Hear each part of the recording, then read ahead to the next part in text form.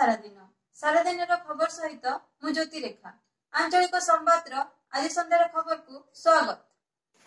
ସାରା ଦେଶରେ ଆଠ କୋଟି ଓ ଆମ ରାଜ୍ୟରେ ପଚାଶ ଲକ୍ଷ ନିର୍ମାଣ ଶ୍ରମିକଙ୍କ ସାମାଜିକ ସୁରକ୍ଷାକୁ ନିଶ୍ଚିତ କରିବା ପାଇଁ ନିର୍ମାଣ ଶ୍ରମିକ ଆଇନର କେନ୍ଦ୍ରୀୟ ନିୟମାବଳୀ ପ୍ରସ୍ତୁତ ହୋଇଥିବା ବେଳେ ବହୁ କ୍ଷେତ୍ରରେ ଏହି ଆଇନକୁ ଆମ ରାଜ୍ୟରେ ଦଳୀୟ ଭିତ୍ତିରେ କାର୍ଯ୍ୟକାରୀ କରାଯାଉଥିବା ବେଳେ ଜାଣିଶୁଣି ରାଜ୍ୟ ସରକାର ସେସ୍ ଆଦାୟ କ୍ଷେତ୍ରରେ ମଧ୍ୟ ଟାଳଟୁଳ ନୀତି ଅବଲମ୍ବନ କରୁଛନ୍ତି।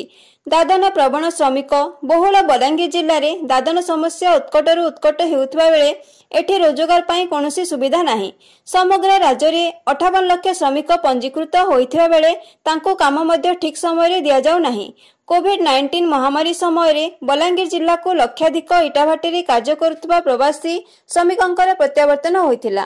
ତାଙ୍କୁ ନିର୍ମାଣ ଶ୍ରମିକ ପର୍ଯ୍ୟାୟଭୁକ୍ତ କରାଯିବାକୁ ବୋର୍ଡର ସ୍ୱୀକୃତି ଥିଲେ ମଧ୍ୟ ପଞ୍ଜୀକରଣ କରାଯାଇ ପାରିନାହିଁ। ତେଣୁ ରାଷ୍ଟ୍ରୀୟ ମଜଦୁର କଂଗ୍ରେସର ଜିଲ୍ଲା ସଭାପତି କୃଷ୍ଣଚନ୍ଦ୍ର ସାହୁଙ୍କ ଅଧ୍ୟକ୍ଷତାରେ ଅନୁଷ୍ଠିତ ଶ୍ରମ କାର୍ଯ୍ୟାଳୟ ସମ୍ମୁଖରେ ବିକ୍ଷୋଭ କରାଯାଇ ଏଗାର ଦଫା ସମ୍ମିଳିତ ଦାବିପତ୍ର ମହାମହିମ ରାଜ୍ୟପାଳଙ୍କୁ ପ୍ରଦାନ କରାଯାଇଛି।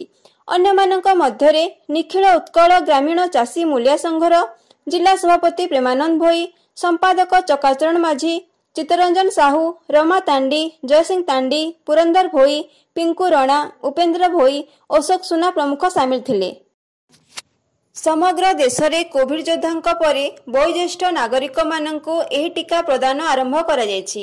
ଏହି କ୍ରମରେ ମାନ୍ୟବର ବଲାଙ୍ଗୀର ବିଧାୟକ ନରସିଂହ ମିଶ୍ର ସପତ୍ନୀକ ସ୍ଥାନୀୟ ଭୀମଭୋଇ ଭେଷଜ ମହାବିଦ୍ୟାଳୟ ଓ ଡାକ୍ତରଖାନାରେ କରୋନା ପ୍ରତିଷେଧକ ଟିକା ନେଇଛନ୍ତି। ଏହି ଟିକା ପ୍ରଦାନ ସମୟରେ ଜିଲ୍ଲା ମୁଖ୍ୟ ଚିକିତ୍ସା ଅଧିକାରୀ ଡାକ୍ତର ଭୀମ ସାହୁ ବିଶେଷଜ୍ଞ ଡାକ୍ତର ଗିରିଜା ଶଙ୍କର ଉଦ୍ଗାତା ଓ ଷ୍ଟାଫ୍ ନର୍ସଙ୍କ ଉପସ୍ଥିତିରେ ଟିକା ଗ୍ରହଣ ପରେ ସେ ଗଣମାଧ୍ୟମ ଜରିଆରେ ପ୍ରତିକ୍ରିୟା ଦେଇ କରୋନା ମହାମାରୀକୁ ନେଇ ସତର୍କ ସଚେତନ ଓ ସାମାଜିକ ଦୂରତା ପାଳନ କରିବାକୁ ସାଧାରଣ ଜନତାଙ୍କୁ ବାର୍ତ୍ତା ଦେଇଥିଲେ।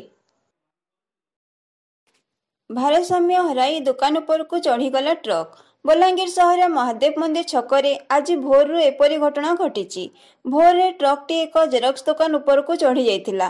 ଟ୍ରକ୍ ଡ୍ରାଇଭର ଜିତେନ୍ଦ୍ର କୁମାରଙ୍କ କହିବା ଅନୁସାରେ ସେ ସାର ନେଇ ରାଉରକେଲାରୁ ପାଟନାଗଡ଼ ଯାଉଥିଲେ।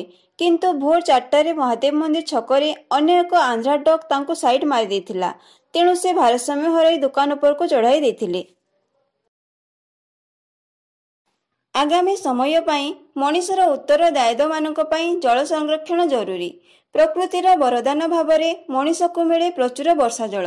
ମାତ୍ର ବିଡ଼ମ୍ବନା ଏହି ଯେ ସେହି ବର୍ଷା ଜଳ ବ୍ୟବହାର ନ ହୋଇ ବହିଯାଏ ନଦୀ ନାଳ ଦେଇ ସମୁଦ୍ରକୁ। ମଣିଷ ଜାତି ଜୀବଜଗତର ସତ୍ତା ବଞ୍ଚାଇ ରଖିବା ପାଇଁ ବର୍ଷା ଜଳ ସହ ମଧୁର ଜଳ ସଂରକ୍ଷଣ ଜରୁରୀ। ଓ ଏହି ଦିଗରେ ସମସ୍ତେ ସଚେତନ ହେବା ଆବଶ୍ୟକ ବୋଲି ନେହେରୁ ଯୁବ କେନ୍ଦ୍ର ବଲାଙ୍ଗୀରର ଆୟୋଜନରେ ଅନୁଷ୍ଠିତ ପଡ଼ୋଶୀ ଯୁବ ସଂସଦ କାର୍ଯ୍ୟକ୍ରମରେ ଏହିପରି ମତ ପ୍ରକାଶ ପାଇଛି। ସାଇଟ୍ ସଦେଇପାଲି ପରିସରରେ ରାମଜୀ ଯୁବକ ସଂଘର ସହଯୋଗରେ ଆୟୋଜିତ ଏହି କର୍ମଶାଳାରେ ମୁଖ୍ୟ ଅତିଥି ଭାବେ ବଲାଙ୍ଗୀର ଜିଲ୍ଲାପାଳ ଚଞ୍ଚଳ ରାଣା ଯୋଗ ଦେଇଥିବା ବେଳେ ସମ୍ମାନିତ ଅତିଥି ଭାବେ ଏଗାର ବାଟାଲିୟନ ଏନ୍ସିସିର କମାଣ୍ଡିଂ ଅଧିକାରୀ ରଞ୍ଜନ ଚକ୍ରବର୍ତ୍ତୀ ଯୋଗ ଦେଇଥିଲେ। ନେହେରୁ ଯୁବ କେନ୍ଦ୍ର ବଲାଙ୍ଗୀର ଜିଲ୍ଲା ଯୁବ ସଂଯୋଜକ ଏ ଭି ଏନ୍ କୁମାରଙ୍କ ସଭାପତିତ୍ୱରେ ଅନୁଷ୍ଠିତ ଏହି କର୍ମଶାଳାରେ ସୁଶ୍ରୀ ଅନୁଷ୍ଠାନ ସମୂହର ପ୍ରତିଷ୍ଠାତା ଡକ୍ଟର ଶ୍ରୀକର ମିଶ୍ର ସ୍ୱାଗତ ଭାଷଣ ଦେଇଥିବା ବେଳେ ଶେଷରେ ରାମଜୀ ଯୁବକ ସଂଘର ସମ୍ପାଦକ ଇଞ୍ଜିନିୟର ନାରାୟଣ ପ୍ରସାଦ ମିଶ୍ର ଧନ୍ୟବାଦ ଅର୍ପଣ କରିଥିଲେ।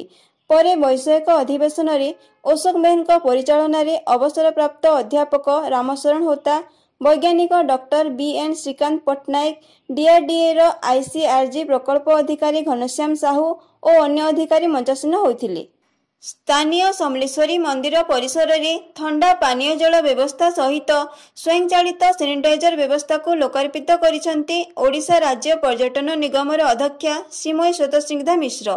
ଏହି ଅବସରରେ ବଲାଙ୍ଗୀର ଜିଲ୍ଲାର ପର୍ଯ୍ୟଟନ କ୍ଷେତ୍ରର ବିକାଶ ପାଇଁ ରାଜ୍ୟ ସରକାରଙ୍କ ପ୍ରତିବଦ୍ଧତାକୁ ଦୋହରାଇଛନ୍ତି ସେ। ଏହା ସହିତ ଜିଲ୍ଲାର ପର୍ଯ୍ୟଟନ ଓ ସଂସ୍କୃତିର ଉନ୍ନୟନ ପାଇଁ ଅର୍ଥର ଅଭାବ ନାହିଁ ଓ ରାଜ୍ୟର ଏହି ଉଦ୍ୟମରେ ସମସ୍ତେ ସହଭାଗୀ ହେବାକୁ ସେ ଆହ୍ୱାନ ଦେଇଥିଲେ।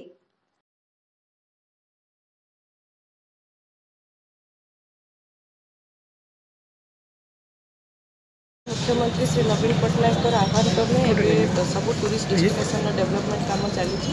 ମା ସମଲେଇଙ୍କ ପୀଠ ଯେଉଁଟା ବଲାଙ୍ଗୀରରେ ଅଛି ସେଇଟା ବହୁତ ପ୍ରାଚୀନ ପୀଠ ଏବଂ ଏଠାକୁ ହଜାର ହଜାର ଲକ୍ଷ ଲକ୍ଷ ସଂଖ୍ୟାରେ ଦର୍ଶକ ଏବଂ ପର୍ଯ୍ୟଟକ ମଧ୍ୟ ଆସନ୍ତି ଏବଂ ଭକ୍ତମାନଙ୍କର ଅ, ଯେଉଁଟା ତାଙ୍କର ଡିମାଣ୍ଡ ଥିଲା ତାକୁ ଦୃଷ୍ଟିରେ ରଖି ଆଜି ଆମ ଓ ଟି ଡି ସି ତରଫରୁ ଆମେ ଏଠାରେ ଗୋଟେ ପାନୀୟ ଜଳର ସୁବିଧା କରିଛୁ ଏବଂ ୱାଟର କୁଲର ଆରୋ ଏବଂ ସାନିଟାଇଜର ବ୍ୟବସ୍ଥା କରିଛୁ ଏବଂ ମୁଁ ଭାବୁଛି ଏହା ଭକ୍ତମାନଙ୍କୁ ଏବଂ ପର୍ଯ୍ୟଟକମାନଙ୍କୁ ଅ, ବହୁତ ସୁ- ମାତ୍ରାରେ ସୁବିଧା ଦେବ ଏବଂ ଅ, ବର୍ତ୍ତମାନ ମୁଁ କମିଟି ମେମ୍ବରମାନଙ୍କ ସହିତ କିଛି ଆଲୋଚନା କରିବି ଏବଂ ଏହି ପୀଠ ପାଇଁ ଆଉ କିଛି କିଛି ଯାହା ରିକ୍ୱାରମେଣ୍ଟ ଅଛି ଯେଉଁଟା ଓ ଟି ଡି ସିର ପର୍ଭ୍ୟୁ ଭିତରେ ଆସୁଛି ଯେଉଁଟା ଆମେ କରିପାରିବୁ ସେଗୁଡ଼ାକ କରିବାର ହିଁ ଏହି ମନ୍ଦିର ପ୍ରାଙ୍ଗଣରେ କିଛି ସେଡ୍ ନାହିଁ ତ ଆମେ ଭାବୁଛୁ ଯଦି ମନ୍ଦିର କମିଟି ମେମ୍ବର୍ସ ମାନେ ଆମକୁ ପରମିସନ୍ ଦେଲେ କିନ୍ତୁ ଓ ଟି ଡି ସି ନିଶ୍ଚିତ ଭାବରେ ଏଠି ଗୋଟେ ଭଲ ସେଟ୍ କରିବା ପାଇଁ ବ୍ୟବସ୍ଥା କରିବେ ଯେଉଁଥିପାଇଁ କି ଆ, ଯାହା ଫଣ୍ଡସର ବ୍ୟବସ୍ଥା ରହିବ ଓ ଟି ଡି ସି ତାହା କରିବ ଏବଂ ଆ, ସେଇଟା ହେଲେ ମୁଁ ଭାବୁଛି ଯେଉଁ ଖରାଦିନରେ ଗରମରେ ଆ, ଭକ୍ତମାନଙ୍କୁ ଆସିବାରେ ଅସୁବିଧା ହେଉଛି ତାହା କିଛି ପରିମାଣରେ ତାଙ୍କୁ ତାକୁ କଷ୍ଟ ଲାଗିବ